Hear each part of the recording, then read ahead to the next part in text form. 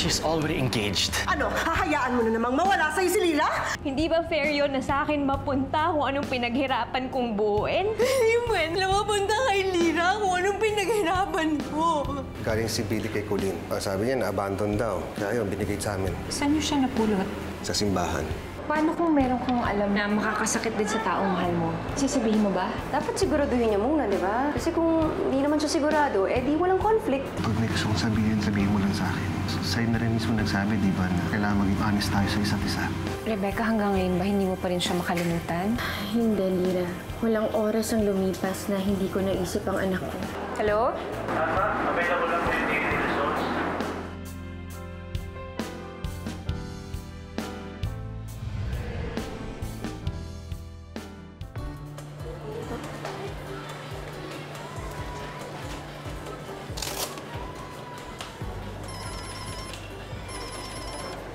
Hello? Oo, sige. O, dediretso na ako dyan sa restaurant pagkatapos ito. May tinatapos lang ako. O, o, sige. Daddy, daddy, tingnan mo po. Maganda po ba? Oo, maganda. Sakto lang ba? Hindi Opo. masikip. Opo, okay lang po to sa akin. Gusto ko po. Gustong gusto mo na yan. Opo, sobra. O sige, miss. Kukunin ko na yan. Ha? Ayos na, ha? Hello! Ayan, dito. Billy? Hello po, Daryl's mom. Oh, Billy! Para. Bernard! Aba, nagsha-shopping kayo, ha? Kailangan niya ng sapatos, eh. Nako, ito rin nagpapabili ng sapatos, eh. Uy, may, may plano pa ba kayo today? Kasi pupunta kami amusement park. Gusto niya kasi maglaro, eh. Billy, baka you wanna join us? Tara! Sige po, Daddy. Sama na po tayo sa kanila. Eh, hindi kami makakasama dahil kailangan pumunta sa restaurant, eh. Eh, nag-off yung chef ko. Kailangan ko pumunta na. Nakakagulo na nga ron, eh. Sayang. Wait lang, I have an idea. Kung okay lang sa'yo, gusto mo isama ko na tong si Billy para naman makapaglaro sila, tapos ihahatid ko na lang sa restaurant mo after. Sige na Ano? po, Daddy. Pero may kalaro naman to si Daryl. Masaya po. Sige na, Talaga? Oh, malikot tong, malikot tong anak ko, ha? Ako bahala dyan, di ba? Opo. Okay, good.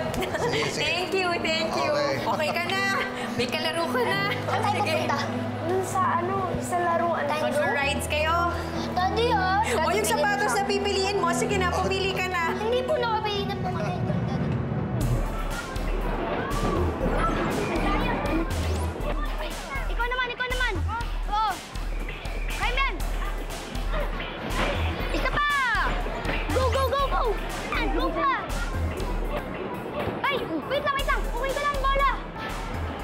To? Uy, uy, uy, uy. Oh, uy. Uy, sa akin yan. Paano magiging sa'yo ito? Nakita namin sa dito. Oo nga. Basta please, ibigay niyo sa akin. Please. Gusto mo ng bola, ha? Hoy! Ikaw bata ka, anong ginagawa mo, ha? Bakit kayo ganyan? Yan pa dinurusin yung mga nanay nyo, ha? Ano? Ano?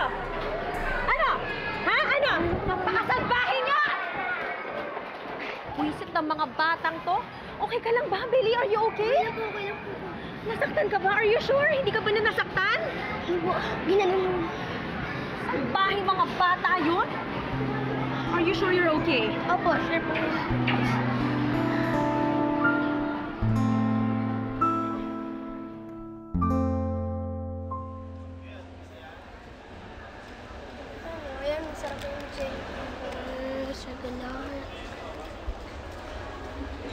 Okay na yan, miss. Thank you. Oh, eto na. For you. Oh, eto naman sa'yo. Thank you po, Daryl's mom. At maraming salamat din po nung pinagalitan niyo po yung mga bad boys dun. Oh, you're welcome. Siyempre, ako pa, hindi ako papayag na may ibang mga api sa'yo, no? Sa kanya lang po, mami. Sure. Siyempre, hindi. Siyempre, kayong dalawa. Babies ko kaya kayo. Ha? Baby niyo din po ako? Aba, oo naman. Lalo na ngayon na magiging mommy mo na si Lira. Parang magiging isang family na rin tayo. Alam mo, yan kasing mommy Lira mo. Parang kapatid ko na rin yan. Kaya ako, parang tita mommy mo na ako. Okay na! okay. Yeah! Alam nyo, dapat nga sa inyong dalawa ako magpasalamat eh. Kasi kayong dalawa masyado nyo akong pinapasaya. o sige, nakainin nyo na yan.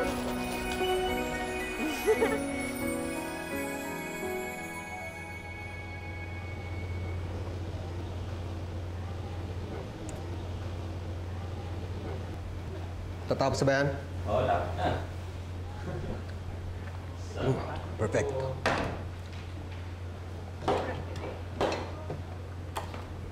Daddy, Daddy! Andito na po kami! Ay, ano? Basta. Daddy! Alam niyo po ba kanina, si Tita Mami Rebecca, pinagalitan niya yung mga bad boys doon kanina. Bad boys? Bakit? Kasi po, di po nila binabalik yung bola namin ni Daryl eh. Pero okay lang po din yun. Kasi natakot din po sila kay Tita Mami Rebecca. Thank you, Ren. Ako, don't mention it, Bernard. Sabi ko nga dito sa anak mo, magiging isang pamilya na tayo.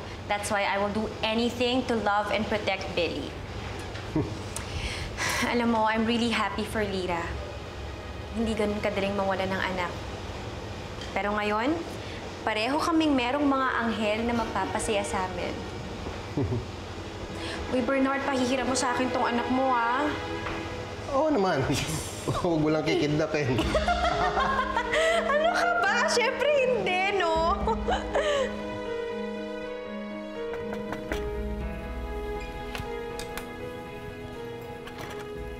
Yes, ma'am. Kunin ko na yung resort. Lira Bermudez po, ma'am. Lira Bermudez, yes. Pa... Pa-receive po mo.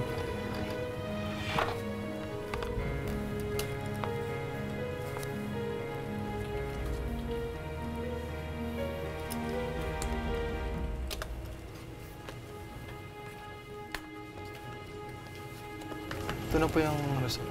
Thank you.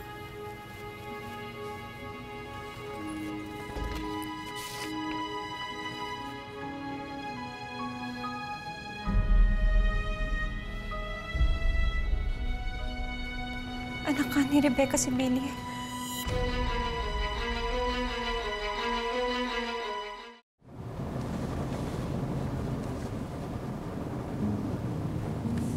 Mahal namin siya parang tunay na anak.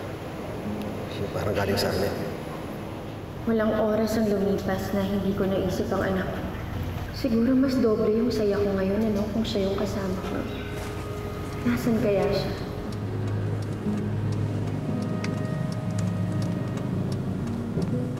Ma'am, nandito na po tayo.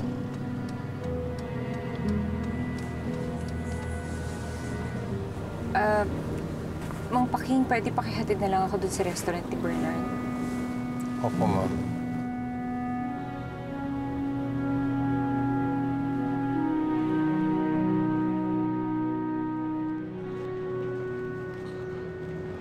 Oh, Billy, sinasabi ko na sa'yo eh. Sayang ang papel. Hindi po kaya. Gumagawa lang po ako ng card para kay Tita Rebecca. Kaso lang po, ang hirap. Ano po ulit yung tinuro po sa akin ni Mami? Ana, ganito lang yun eh. Yung pa-wave ba gusto mo? Opo. Oh, ganyan lang yan oh. Ah, okay, tuloy mo na lang ha. Hello, Lee. Ah, nandito kami sa office eh. Ah, sige, see you later. I love you. Okay, bye. Pupunta po dito si Mami. Ah, E di, siya muna po yung bigyan po natin ng card. Please po. Dahan-dahan baka masugat ka ha.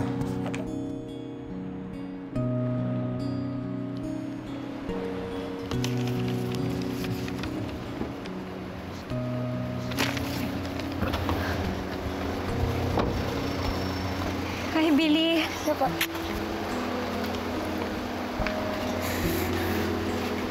Mami Lira, kanina ko pa po kayo hinihintay. Surprise! Thank you. Kami pong dalawa ni Daddy gumawa niyan. Nagustuhan niyo po ba? Oo naman. Halika nga dito.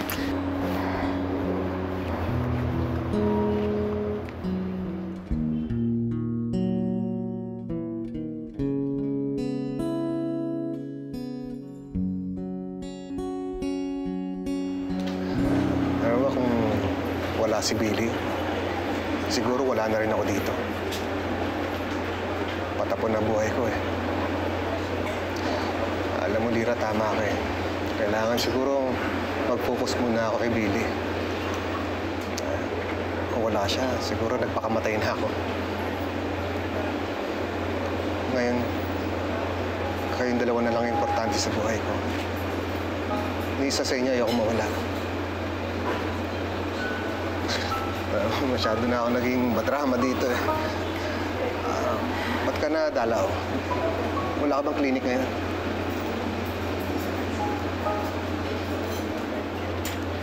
Lee, ayos ka lang ba?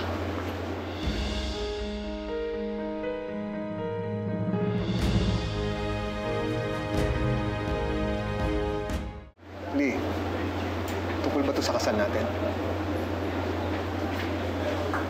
Oo. Oo. Ah... actually, ano... Gusto ko lang itanong sa'yo kung okay na ba yung mga guest list. Kamusta? Guest, guest list? Akala ko naman kung ano. Oo, ayos na. Alam mo, Lee, ang importante doon, ikaw at ako.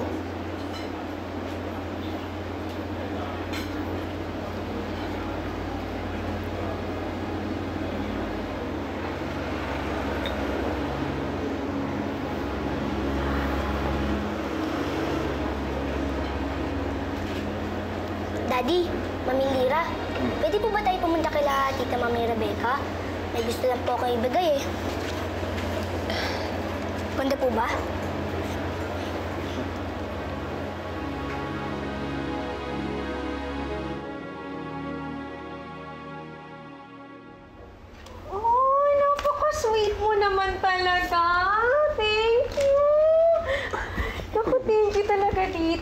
You know what, Lira? Napakaswerte mo dito sa anak mo. He's the perfect son.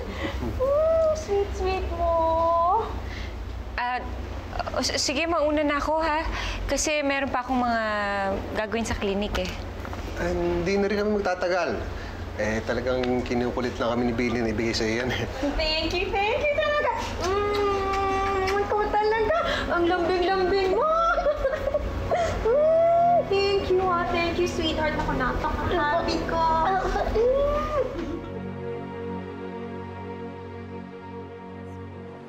Opo, painumin niyo ng tulong. Ay, po siya. Thank you, Dok. Okay, thank you, Dan. Una na ho ako, Dok. Check, inaantay na buto ng nanay niya. Sige, ho. Thank you. Opo, sige. Hopefully maging okay na po yung blood count niya pagdating. Alright, sige ho. Thank you. Okay po, sige. Salamat.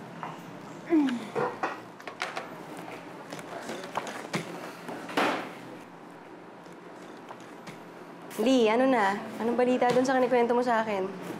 Anak niya nga, Penny. Oh, no. Eh, paano yun? Sasabihin ba niya doon sa kaibigan niya?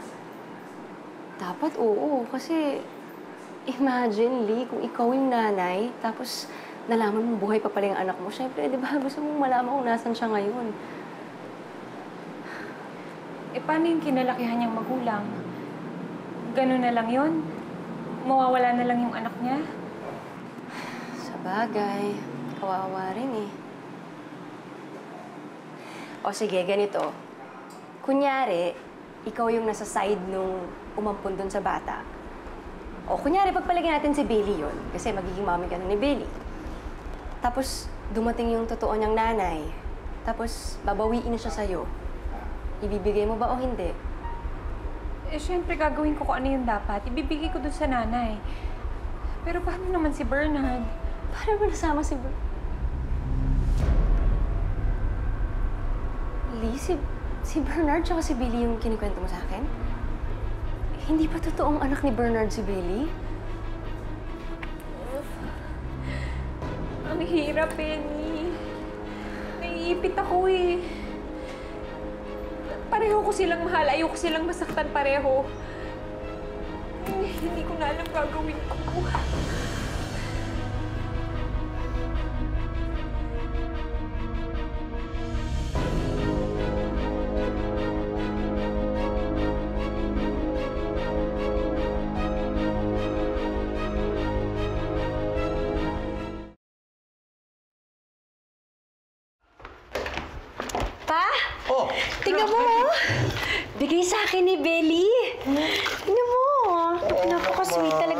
Ng batang yan pa. Ano? Oh!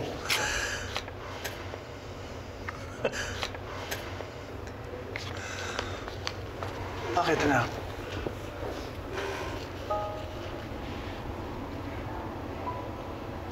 Kung nandito lang sana si Daryl, siguro ang dami ko na rin mga ganyan galing sa kanya.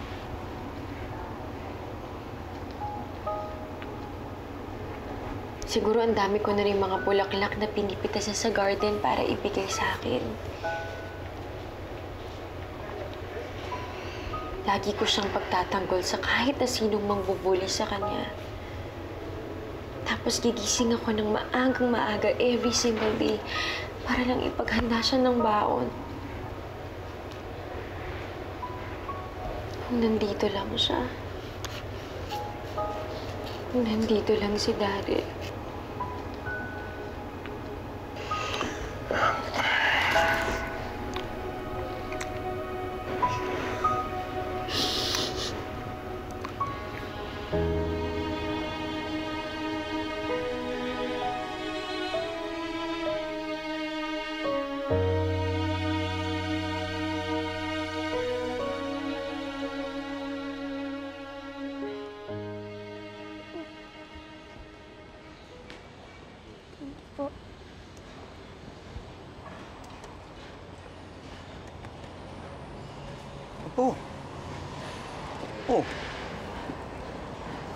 Lungkot mo dyan? Nag-iisa ka, ha?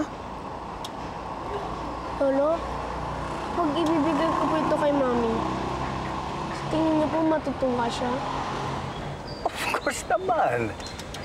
Tanggap ka na naman ulit ng Mami Rebecca mo, di ba? Ha? Wala naman kayong problema na, di ba? Okay na kayo. Eh, baka po kasi mas i-wish niya ang totoong anak niya lang nagbigay sa kanya nito. Daryl, sabihin ko sa'yo, kahit ano pa yan, kahit hindi ka ang tunay na Daryl, ha? kahit anong ibigay mo sa kanya, tatanggapin niya yon at siguradong magiging masaya yon. Mahal ka ng mami mo. Lolo, paano kapag dumating na yung totoong Daryl? Baka paalisin po ako ni Mami. O iwan niya naman ako sa mall.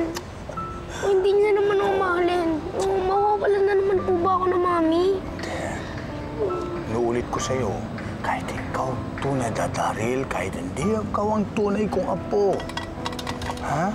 May lugar ka pa rin dito sa pamilyang ito. Pamilya natin, dito sa bahay na to. Ha? Tandaan mo yan. Ngayon na alam ko na kung sino yung mga taong involved dyan, naiintindihan kita, Lee. At sobrang hirap mag-decide sa ganyang sitwasyon.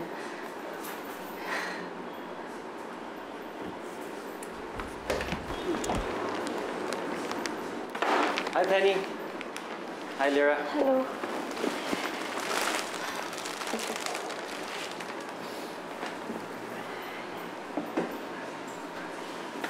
Jerome, pwedeng...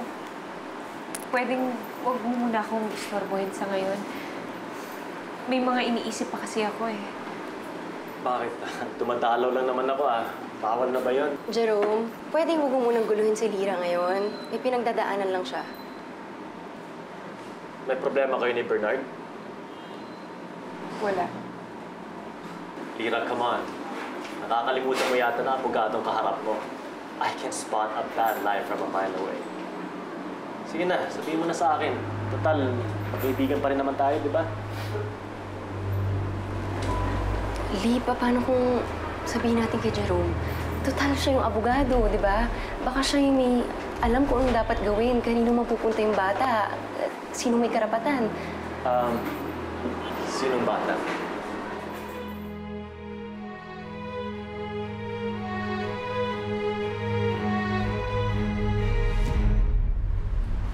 Anong nakalagay sa birth certificate ni Billy? Hindi ko alam. Kasi kahit nakapangalan sa iba yung bata, at may DNA result tayo na nagsasabi na si Rebecca ang tunay niyang ina, pwede natin dalhin yun sa korte para i-contest ang birth certificate. Kailangan ba talagang ipaabot sa korte? Well, depende. Depende sa magiging usapan ninyo. Lira, I'm telling you, you have to tell the truth or else this can get really, really ugly. Pwedeng ma-charge si Bernard ng falsification of documents, simulation of birth, on top of the kidnapping yan, ha? And all those are criminal offenses, Lira. Eh di magkakagulo nga. Eh kung hindi naman sasabihin ni Lira, eh di wala na yung mga kaso-kaso na yan. Ang sabi nga, di ba, what you don't know won't hurt you. Eh okay naman na sila Billy tsaka si Bernard, di ba? Si Rebecca, okay naman na. Eh, hindi pa siya okay. Hanggang ngayon, masama pa rin ang loob niya. Hanggang ngayon, hinahanap niya pa rin si Daryl. Eh paano yung Lee? Baka kayo naman ni Bernard ang magkalabuan yan. Paano kung magalit siya sa'yo? Bakit siya magagalit? Kung gagawin mo naman kung anong tama. Lira, if Bernard really loves you, he should be really understanding where you're coming from right now. Halos kapatid mo si Reb. Para mo na rin siyang trinador kung hindi mo sasabihin kung anong nalalaman mo.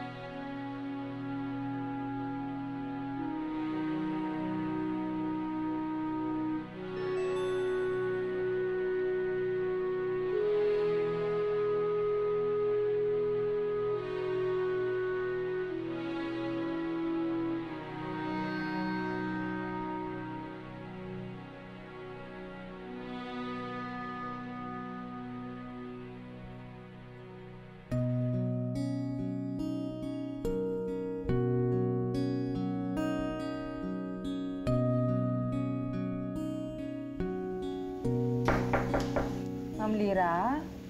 Yes, Tessie. Ate, si Ma'am Rebecca po iyak ng iyak dun sa sala.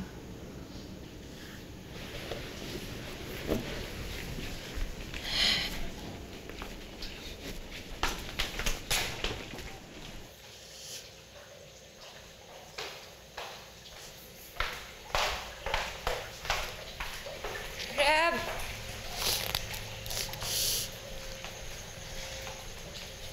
Hey, Reb. Oh.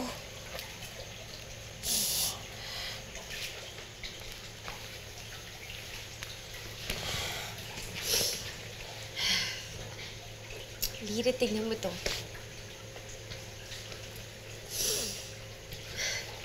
Cute-cute ni Daryl, no? Ito, oh.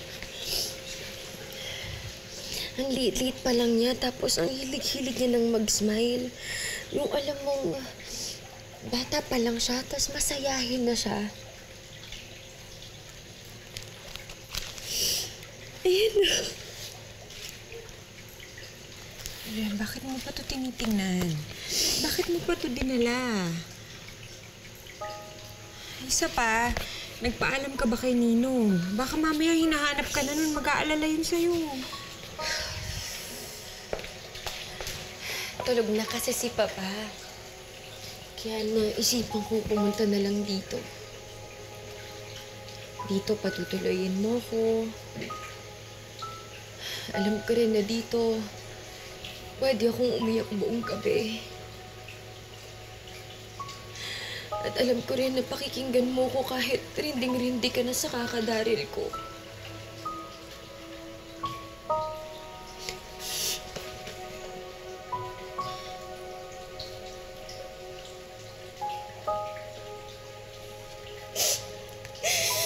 Lira.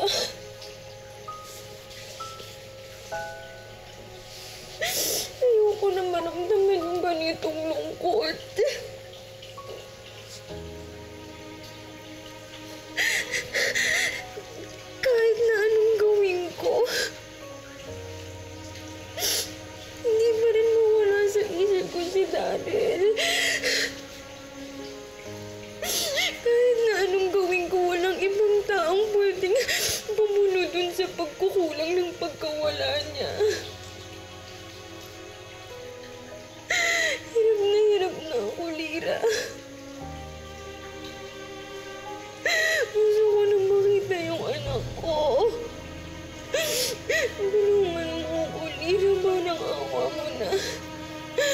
Tulungan mo muna namin yung anak ko. Hindi ko na mamina yung anak ko. Hindi ko na mamina yung anak ko.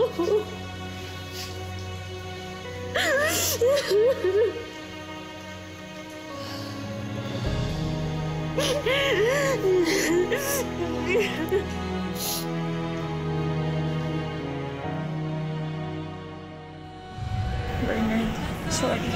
Bakit? Si Billy. Siya yung tunay na anak ni Rem. Huwag mo sabihin kay Rebecca. Huwag mo sila bigyan ng pagkakataon na makuha nila si Billy. Tira, nakikiusap ako. Pasipol-sipol ka pa dyan. Ikakasal na nga sa iba si Lira. May bagay na na pwede makasira kina Bernard at Lira. Kaya kapag sinundan ni Lira ang payo ko sa kanya, sigurado magkakahiwalay sila. At malay mo, maging kami ni Lira na.